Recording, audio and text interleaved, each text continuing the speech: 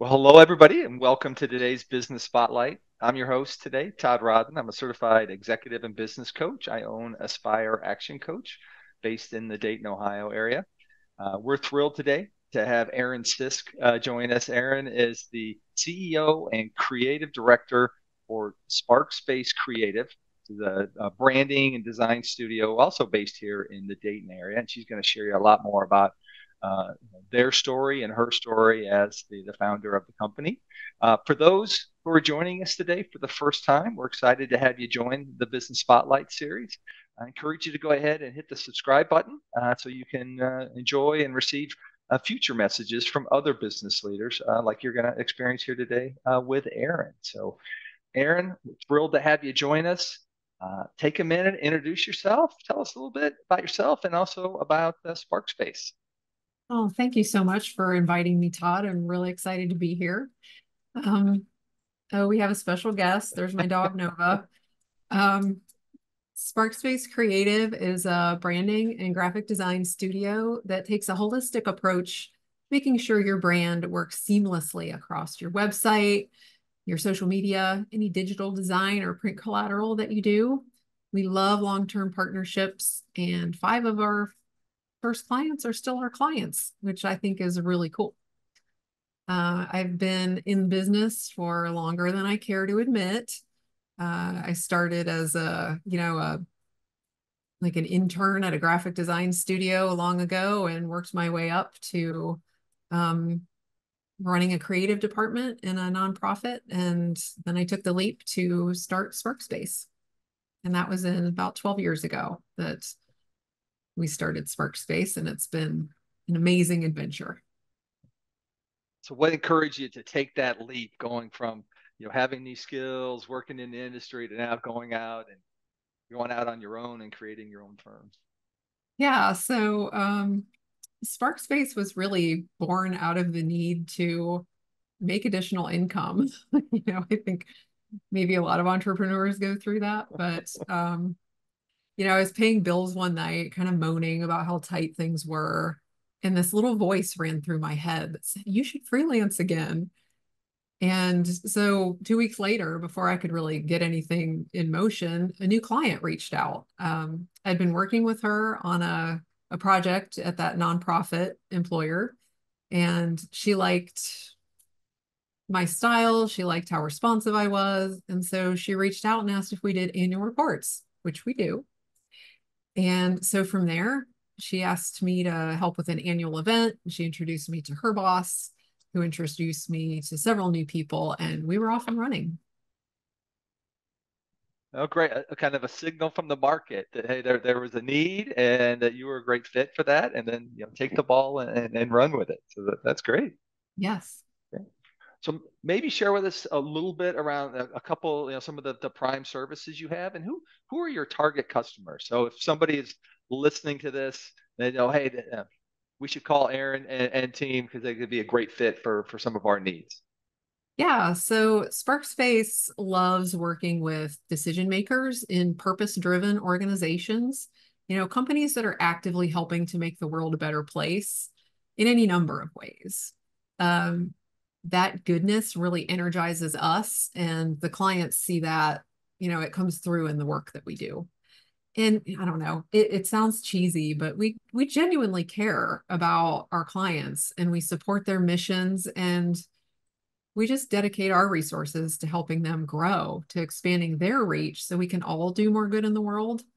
And uh i don't know i think that energy comes through in the work so does that, if I uh, kind of extend that out, does that mean you're mostly focused on supporting like nonprofits, or are there other types of enterprises that that, that oh, are yeah. focus?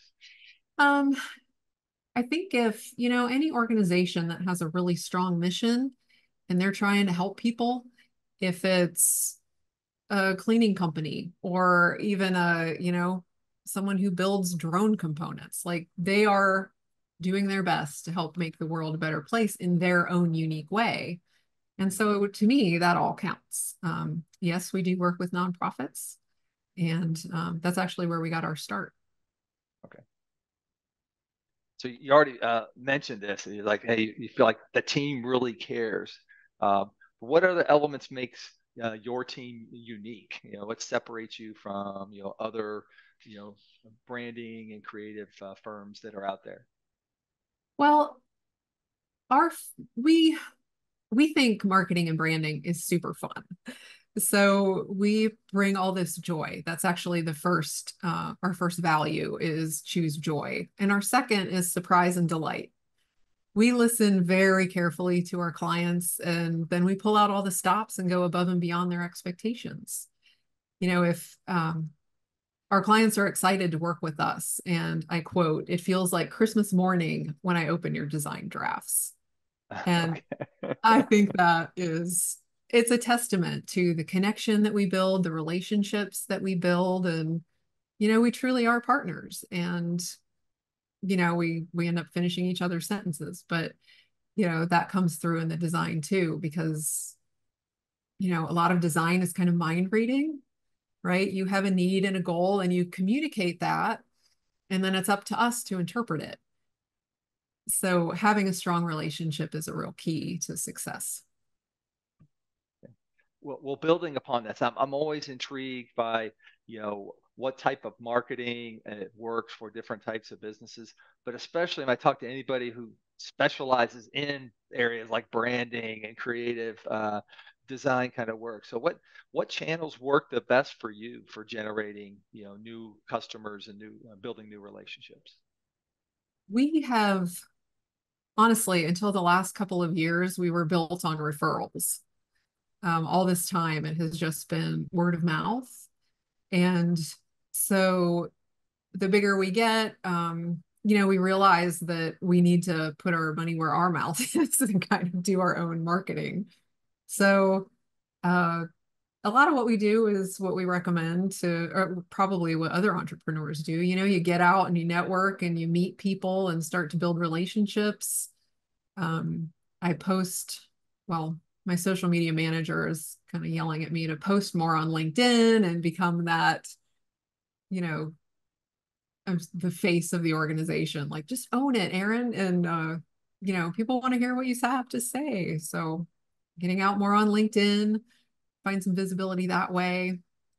Uh, we build a target list that we'll be reaching out to. You know, you got to figure out who your ideal clients are and then uh, try and find their contact information, put together a compelling offer, and reach out.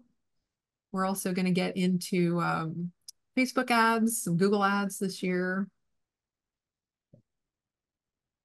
You talked about networking. Uh, mm-hmm. networking can mean a lot different things to different people. So, you know, what what are the right marketing or networking avenues for for you and your firm? Well, I am uh, kind of a, a I don't know, it's funny. It's um I avoided networking for a really long time and it was okay because of all the referrals, right? It was like a one-on-one conversation. Errin, I want you to meet so and so. So I go in there and you know, it was easy to have a conversation with one person. But walking into the room, you know, and just smiling through the nervousness and getting out there is uh you know, that's always been difficult. I'm sure other people face that challenge too, but it's it's such a necessity you know it's it's the probably the best first touch you know after networking or uh, word of mouth and so for us it's um through the chamber uh, there's a women in business networking program through better business bureau um you know and we're we're always looking for more ways to get out there you know, great, great examples, right, uh, particular uh, networking associations you can really plug into there. So, so it's uh, you're going on 12 years being in business, being that uh, that CEO. Sure you've had a few twists and turns in the road uh, during that time. So, what's what's been the biggest challenge or two that you've overcome? What did you learn from those? Yeah, so the first challenge was recognizing when it was time to uh, take the leap from freelancing days or uh, evenings and weekends while I was working a full time job to quitting the day job and really going out on my own. And um, that was a memorable day in September a few years ago. I think that was 20, 2013 that I actually went out on my own. It was sooner than my husband and I thought. And I remember I had written a list of all of the, the business that we had coming. And I realized that I wasn't going to be able to fulfill all of these commitments and work my full time job. So I called my husband, you know, I'm like, hey, guess what? It's time. it's like, Errin, you're about 18 months early. And I'm like, I know, but it's happening.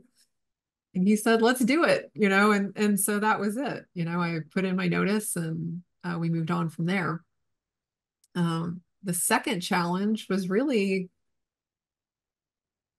getting the courage to hire my first team member. Um, for whatever reason, I was super intimidated of the the hiring process and I don't have any HR experience and I let that stand in the way for probably 2 or 3 years.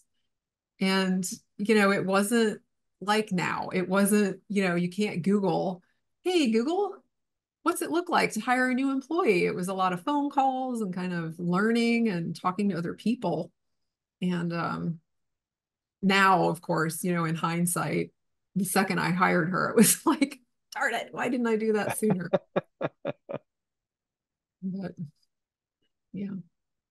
So that uh, that's a great lead into to your team. So maybe taking it talk about yeah, kind of the, the size of your team, the types of roles, and uh, you hired that first employee a few years ago. Uh, what have been your keys to attracting uh, strong talent uh, since then? Yeah. So uh, we have five people on the SparkSpace team, and we're all pretty specialized. Um, we have a web designer, a art director, an illustration, or well, an illustrator who does. They all do amazing work. We also have a social media manager and a project manager who keeps all of it running super smoothly.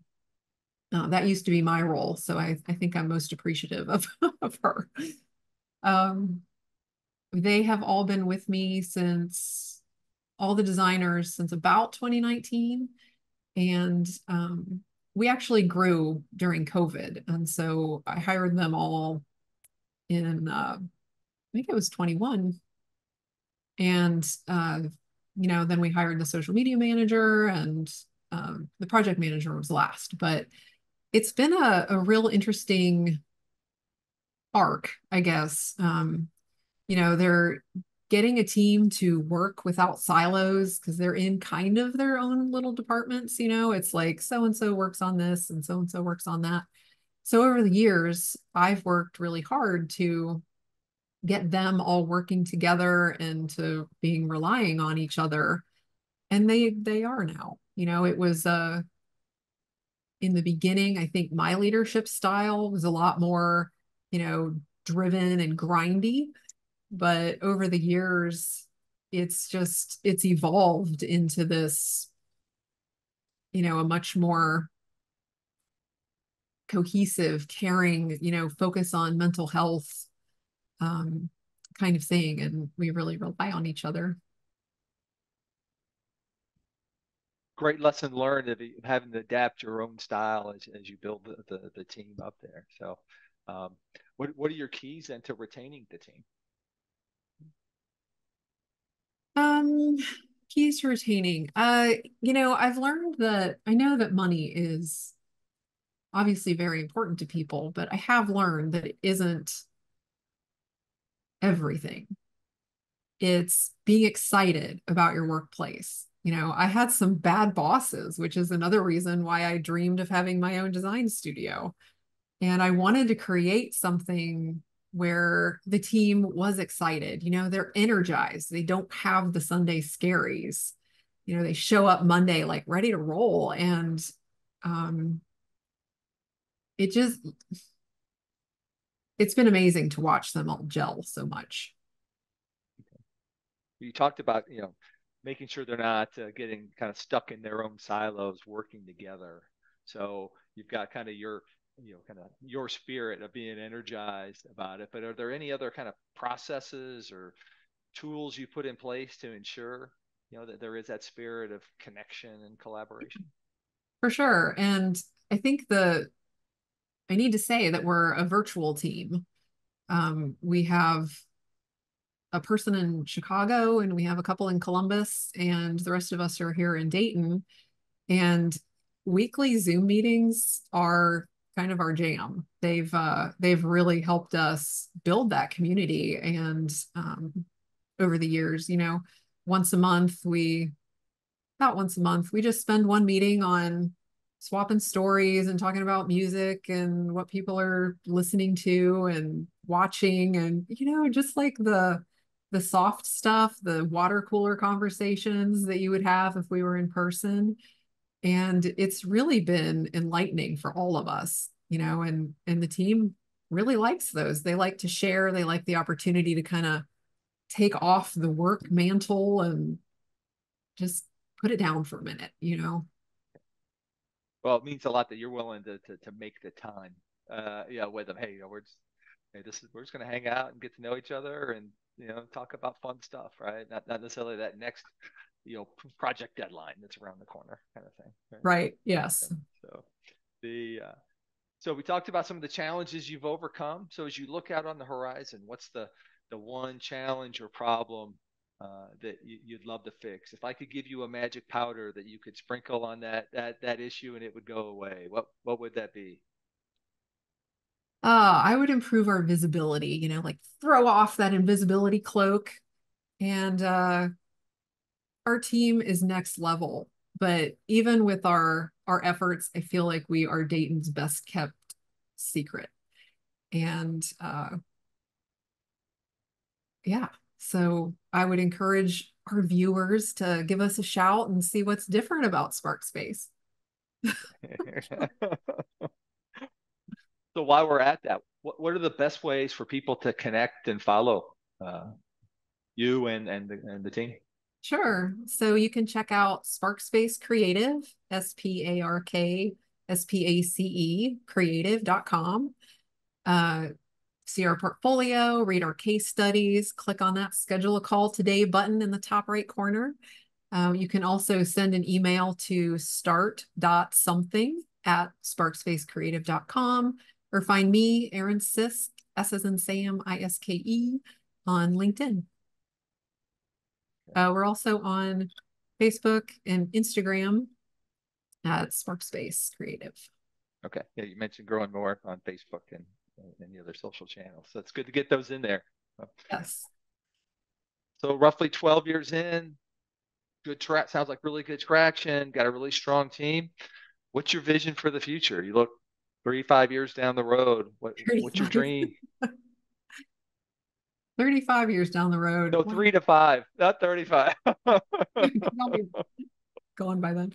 Um, three to five, you know, we love these we love these annual partnerships and i think we're we're trying to grow that area of the business you know we we love a great one-off project but our goal is always to turn those clients into repeat customers because that's just that's our that's just how we roll it's it's my nature to build relationships and partnerships and you know i think people struggle finding a reliable resource and having these kind of relationships, you know, we're your go to and we're going to move heaven and earth to get your stuff to you. I have tons of stories about, you know, the lengths we go to make sure that people have what they need when they need it. And it's, uh, I think it's one of the things that makes us special.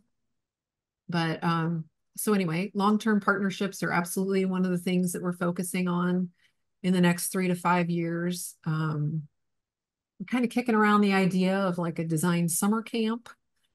Uh, that might be interesting. You know, get some teens, help them career explore in a you know a safe, creative environment. That you know that's been something I've always wanted to do too. Do you have visions of someday? Right now, you're virtual. Do you see eventually having being large enough that you would have a location? you think the virtual model is great, and you know that, that you're going to continue to grow that way? We're going to continue virtually. We've had several conversations about the return to work, return to office situation. you know, and my team is uh they are devout workers from home. And, you know, I'm okay with that. Everything's getting done. We meet quarterly when we can and get together in person to, you know, take a training or do a photo shoot or whatever. And, you know, I think, I think that model just, it really works for us. So a lot of uh, entrepreneurs watching this, folks who uh, tend to be a little bit earlier in their journey as a business owner. So taking all stock of what you've learned up to now, what advice do you give somebody? Maybe they're a couple years into their their journey as a business owner. What would you, you know, advice would you share? Your keys to success. Yeah. So um so my key to success is, and this might be a little metaphysical for people, but I found that good things happen when I'm consistently in a good place. When I'm in this, you know, high vibe mindset and everywhere I look, I see opportunities, I know I'm on the right path. And it wasn't always that way. And so I guess the advice I would give is to, you know, it, it's simple and you've probably heard it before, but I just I trust my gut or your heart or whatever it is that speaks to you. You know, that little voice inside. Um, when I think I'm smarter than my intuition, that's when I get in trouble. So just tune in and listen to your gut. It will not steer you wrong. uh, that's intriguing. The the part you mentioned about hey, when I'm in a good place, good things tend to happen. Yeah. Life of a business owner, though, ups and downs. Yeah. It's easy to to find some valleys and and stay there for a while. So how do you how do you what practices do you have to keep yourself in that good place? Yeah. So I'm a a meditation person and I do yoga in the mornings. It's these are things I've found that help keep the stress down. You know, I I work out every morning. There are various kinds of things I do, but getting that like excess energy out in the morning helps me stay clear and calm. And um, it's the they're the things I come back to. You know, if I lapse and I don't do those for a few days, I see a difference and I can feel myself, you know, the doubt creeps in or my confidence is slipping or something. And it's like, oh my God, what did I do? And so I just I come back to my morning routine, which is absolute gold for me. And it really it sets the tone for my day. Um, you know, sometimes business owners just need a, a kick in the pants. And, you know, I'm not gonna lie, like last summer we were kind of going through some stuff and I hired a um, chief marketing officer to like help bring some clarity. We're launch there's a, a separate business that we're kind of launching and she could see that I was not in a good place. And so she zeroed in on me and um whew, she was a straight talker and really shook me out of whatever the funk was that I was in and uh helped me get back to my morning routine and you know back to here back to where I'm happy and successful and positive well, thanks for being so open and sharing that. And again, yes, you know, so so impactful, so powerful, and so important, right? Because uh, again, the, the journey is going to have some of those you know, those down periods, those those those challenges, and so having the practices, having the the tools to to get your mindset in the right place, just just so so essential. Uh, it really is. So as we get closer to to wrapping up here, who who do you follow? Any books, podcasts? Who, who do you look after for insights? Yeah. So the book I love the most that um, when I am struggling, I turn to this. It's called You Are a Badass by Jen Sincero. And uh, wow, she'll snap you back into a positive mindset. Nobody's business. Are you familiar with her? Yeah, I've, I've read that book. It's been a few years. I read that book, so sounds like you're the, the CMO you hired had a little bit of that tone uh, to get you back. Yeah, that tough love.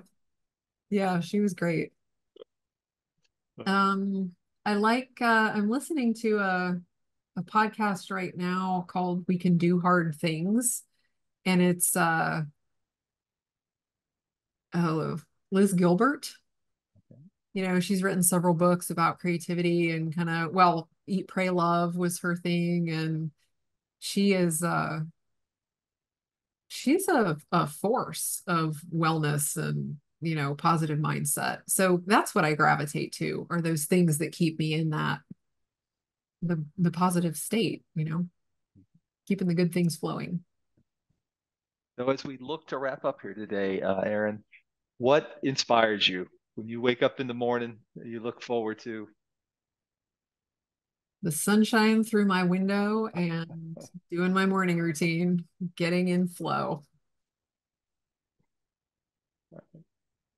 Well, thank you for sharing your story and a little bit more about your team and Spark Space Creative. Uh, again, encourage folks uh, go check them out. Uh, she shared the, the website link uh, before, but uh, sparkspacecreative.com. Uh, also connect uh, with Errin on uh, LinkedIn and uh, you know coming information through their Facebook and Instagram channels as well. So love your openness and sharing your story here. again, for those uh, viewing us today, encourage you to go out and hit that subscribe button. Uh, hope you took good notes uh, from the lessons that Errin shared here as well. And we wish you all a fantastic day. Thank you. Thank you.